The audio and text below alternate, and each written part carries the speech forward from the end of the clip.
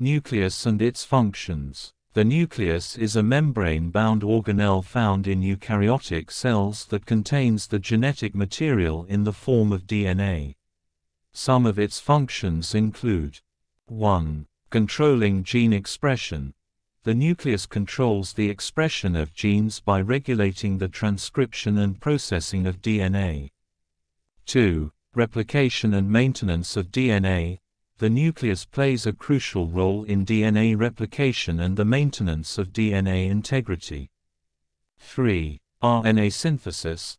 The nucleus is responsible for the synthesis of different types of RNA, including messenger RNA, mRNA, ribosomal RNA, rRNA, and transfer RNA, tRNA.